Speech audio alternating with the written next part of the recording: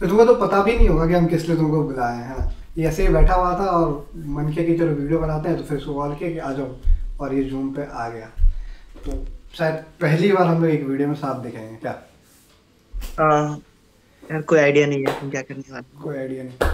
तो एक सिंपल सा क्वेश्चन है कैरोलिना मैरिन को जानता है क्या?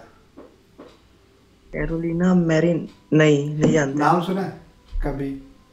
किस फ़ील्ड से कुछ पता हो थोड़ा बहुत। राइटर है क्या ये? नहीं राइटर नहीं है। ये तुम्हारे फेवरेट स्पोर्ट जो तुम आजकल खेलना चालू किया बैडमिंटन से रिलेटेड है ठीक है? तो कैरोलिना मैरिन को हम लोगों का ये कह सकते हैं ना कि एक तरह से मोहम्मद अली जैसे बॉक्सिंग में मोहम्मद अली का नाम है ना वैसे बैडमिंटन में अगर किसी का नाम आना चाहिए तो कैरोलिना मैरिन का आना चाहिए ठीक है? इतनी खतरनाक प्लेयर इसके बारे में बताते हैं। स्पेनिश बैडमिंटन प्लेयर है। हम्म। ओलंपिक चैंपियन तीन बार वर्ल्ड चैंपियन छह बार यूरोपियन चैंपियन और former world number one player और ये नंबर वन के टाइटल को 66 वीक तक होल्ड की थी. 66 वीक तक. और ये जो यूरोपियन चैंपियनशिप है ना छह यूरोपियन चैंपियनशिप जो जीती है ये छह का छह लगातार. और है तीन बार वर्ल्ड चैंपियन तीन बार वर्ल्ड चैंपियन रहना। कितना बड़ा बात है। बड़ा बात है ये तो। कैरोलिना मैरिन के आने से पहले तक पूरा डोमिनेशन पता है एशियन प्लेयर का डोमिनेशन था। चाइना डोमिनेट करके रखा था बैडमिंटन को। बैडमिंटन मतलब चाइना और एशियन बाकी सारे कंट्रीज़ जितने। कोई था ही इसके आने के बाद ना पूरा स्ट्रक्चर ही बदल गया। मोस्ट एग्रेसिव प्लेयर हर एक मतलब जिसको कहते हैं ना कि हर एक पॉइंट के बाद एग्रेशन में इसका दिखता है। मतलब एक पॉइंट लेने के बाद ये चिल्लाएगी, ये ये मतलब एकदम मर रही है वो। मतलब हर एक पॉइंट के लिए ना जान डाल दे रही है वो।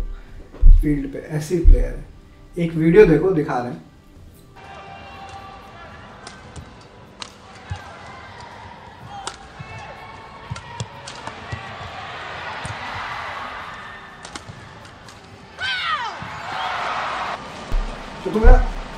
गौर करना कि हर एक बाद कैसे इसका एग्रेशन कहाँ से आता है? कितना एग्रेशन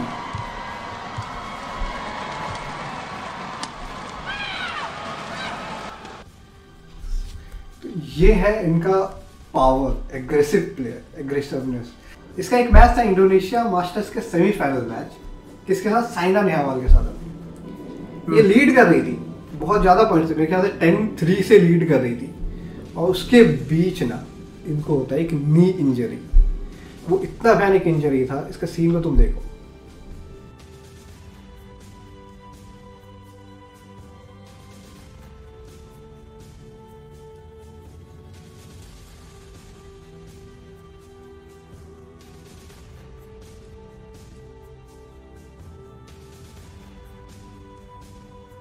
एक्सरे बता रहा है कि इसका लिगामेंट ब्रेक हो चुका है। घुटने का लिगामेंट ब्रेक इस इंजरी के बाद कमबैक करना बहुत ही मुश्किल होगा, शायद ही ये खेल पाए। करेक्ट शायद ही खेल पाए। और पता है इंजरी के जस्ट बाद जब इसका पहला इंटरव्यू होता है ना तो पता क्या बोलती है? ये बोलती है कि टाइम मेरे पास नहीं है। मेरे पास टाइम नहीं है ओलंपिक की तैयारी में लिखना उल्टा पैर चल नहीं पा रही। उल्टा पैर चल नहीं पा रही है वो। मतलब उसके साथ चल रही है वो होता है ना हेल्प क्या बोलते हैं उसको? पता नहीं क्या बोलते हैं। क्या हिंदी में तो बैसाखी बोलते हैं। क्या बोलते हैं? बैसाखी बोलते हैं हिंदी में। बैसाखी। तो बैसाखी से चल रही है वो। खड़ा नहीं रह पा रही और उतर गई है मैदान में प्रैक्टिस के लिए। प्रैक्टिस कर रही है वो पैर को रख दी है एक टेबल पे और प्रैक्टिस किए जा रही है। हिल नहीं पा रही एक पैर को टेबल पे रख के एक जगह पे बैठ के प्रैक्टिस कर रही है। प्रैक्टिस करना नहीं छोड़ रही। जान लगा दी।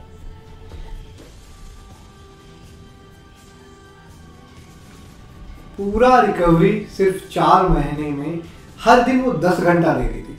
पाँच घंटा प्रैक्टिस, पाँच घंटा रिहाब दस घंटा हर दिन और चार महीने में वापस मैदान।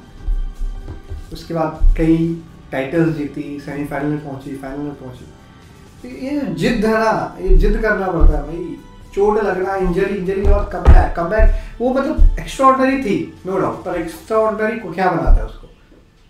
भाई उसका डेडिकेशन उसका मेहनत उसका मेहनत बना रहा उसको एक्स्ट्रॉर्डनरी ऐसे ही एक्स्ट्रॉर्डनरी बनता है यार। क्या कहना बताओ? हाँ ये तो है ही, किसी के अंदर किसी चीज़ का जुनून है। पैशनेट है चीज़ को लेकर के। तो चाहे कितना भी हडल्स आ जाए, कितना भी प्रॉब्लम आ जाए, उस चीज़ को अचीव करके ही छोड़ेगा। क्या बात है। तो ये पैसन आना बहुत इम्पोर्टेंट है। अब यहाँ पे एक चीज़ और है ना कि पैसन आता कैसे है? पैसन इससे आएगा, हमारे एक्शन करने के बाद पैशन आएगा या ऑटोमेटिक पैशन आएगा और हम एक्शन करेंगे? यहाँ पे दो थॉट है। किसी भी चीज़ के लिए हमें पैशन जैसे कैरोलिना मैरी जैसा पैशन कि बैडमिंटन खेलना है पैर टूट गया टूटे पैर से खेल रहा है। ये पैशन कहाँ से आएगा ये पैशन तो तुमको आएगा अगर देखा जाए तो अगर तुम किस चीज़ में इन्वॉल्व हो और तुमको उस चीज़ में एक पॉजिटिव आइडिया मतलब पॉजिटिव रिज़ल्ट तुमको दिख रहा है तो फिर तुमको खुद ही वो मोटिवेट मोटिवेट करेगा यानी यानी यानी यानी यानी यानी यानी तो हमारा कहना है कि तुम कुछ एक्शन लिया करेक्ट उस एक्शन एक्शन का मतलब है तुम मेहनत किया किसी चीज़ पे। कोई भी चीज़ हो सकता है और उसका तुमको रिज़ल्ट दिख रहा है तो वहाँ से पैशन तुम्हारे अंदर आएगा। करेक्ट हाँ। ये एक फैक्टर ज़रूर है। इसका मतलब अगर हम बैठे हैं और कह रहे हैं हमारे अंदर तो पैशन ही नहीं है तो ये तो बेवकूफ़ी है। अ, हाँ बेवकूफ़ी है। Without work you can not get the passion.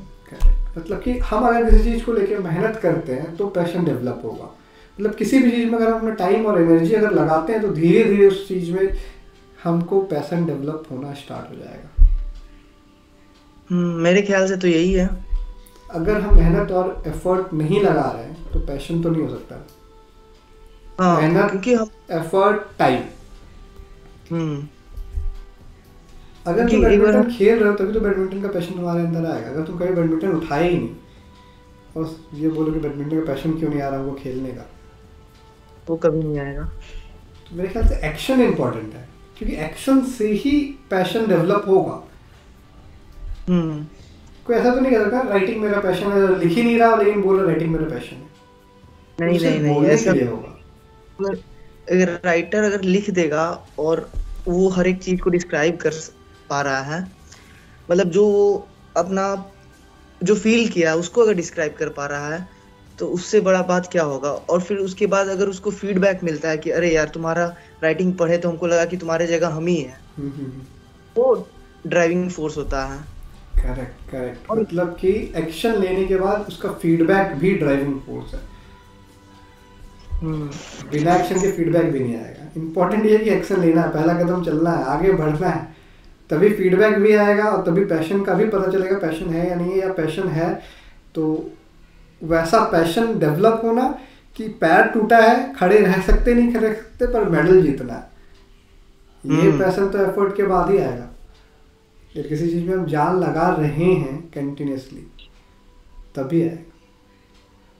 हाँ हाँ ऐसे भी कितने जितने भी सक्सेसफुल पीपल को हम लोग देखेंगे तो वो लोग भी तो वन डे सक्सेस थोड़ी अचीव किए हैं वो लोग। उन लोग का जर्नी है एक एक स्मॉल स्केल से लेकर के एक बड़े स्केल तक। कोई भी सक्सेस बिजनेसमैन या टाइकून का ले, ले लो देख लो तुम। वही है स्टोरी सबका। Everyone is coming from lower to the upper लेकिन वो अपना काम करना लगन नहीं छोड़ता है। करेक्ट काम करना नहीं छोड़ता है। छोड़ना इज़ लाइक पहले स्टार्ट करना। मैं बार बार इस बात को रिपीट इसलिए कर रहा हूँ क्योंकि जितने लोग हैं ना वो स्टार्ट ही नहीं करते। बहुत कुछ सोच के रखते हैं। बहुत पोटेंशियल है। बस स्टार्ट करना रुक जाता है। मतलब स्टार्ट करने से ही घबरा जाते हैं। फ़र्स्ट स्टेप इज़ स्टार्ट करना। स्टार्ट करने के लिए फाइव सेकेंड रो five four three two one go अगर आपने नहीं देखा तो लिंक डिस्क्रिप्शन में मिलेगा कहीं भी मिलेगा जाके देखना ज़रूर। और रविकांत मिलते हैं हम लोग अपने अगले वीडियो में। वीडियो बोलो पॉडकास्ट बोलो। मिलते रहेंगे हम लोग। रविकांत आता रहेगा कमेंट करके मुझे ज़रूर बताना कैलोरीना मैरिन जैसे स्पोर्ट्स पर्सन के बारे में आप क्या सोचते हो। ये एपिसोड कैसा लगा आपको मेरे फ्रेंड रविकांत के साथ? अगर आप ऐसे सेशंस और चाहते हो तो कमेंट करके हमें ज़रूर बताना। वीडियो को लाइक करना मत भूलना, चैनल को सब्सक्राइब ज़रूर करना।